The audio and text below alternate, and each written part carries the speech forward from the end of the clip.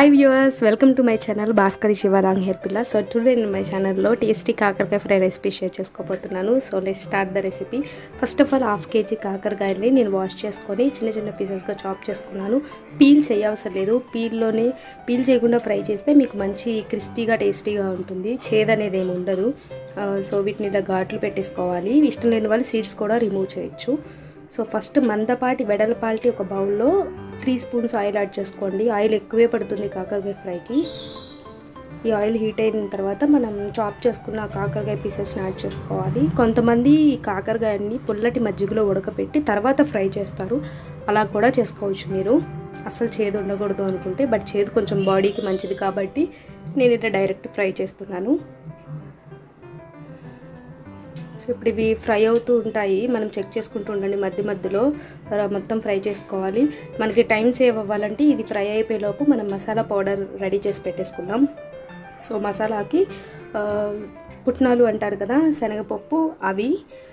అవి ఒక twenty grams తీసుకుంటున్నాను. అండ్ ఒక చిన్నులపై రెమ్మలు.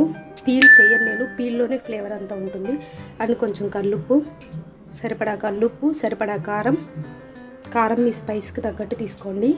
అండ్ జీలకర్ర టూ స్పూన్స్ జీరా టూ స్పూన్స్ జీలకర్ర. సో ఇది పౌడర్ చేసి పెట్టేసుకున్నాము. అండ్ మనం కాకరకాయలు ఒకసారి చెక్ చేసుకుందాము.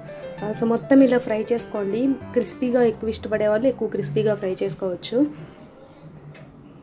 సో ఇవి ఇలా ఫ్రై అవుతూ ఉంటాయి. ఇందులో కొంచెం కాకరకాయలకి సరిపడా సాల్ట్ యాడ్ చేసుకోండి. మనం మసాలాలో కూడా కల్లుప్పు యాడ్ చేసాం కాబట్టి కొంచెం చాలు. కాకరకాయలకి సరిపడా యాడ్ చేసుకోండి. సాల్ట్ ఫస్ట్ అయితే యాడ్ చేయొద్దు చేదు రెట్టింపు అయింది అండ్ పసుపు కూడా యాడ్ చేయని అవసరం లేదు. పసుపు యాడ్ చేయడం వల్ల చేదు ఇంకా ఎక్కువ అవుతుంది. సో ఓన్లీ సాల్ట్లో ఇలా ఫ్రై చేసుకోండి. ఇప్పుడు ఇవి ఫ్రై అయిపోయాయి. వీటిని నేను ఒక ప్లేట్లోకి ట్రాన్స్ఫర్ చేసుకుంటాను. స్టవ్ ఆఫ్ చేసి ఒక ప్లేట్లోకి ట్రాన్స్ఫర్ చేసేసుకోవాలి. సో వీటిలో మనం ముందుగా ప్రిపేర్ చేసి పెట్టుకున్న మసాలాని యాడ్ స్టఫ్ చేసుకోండి.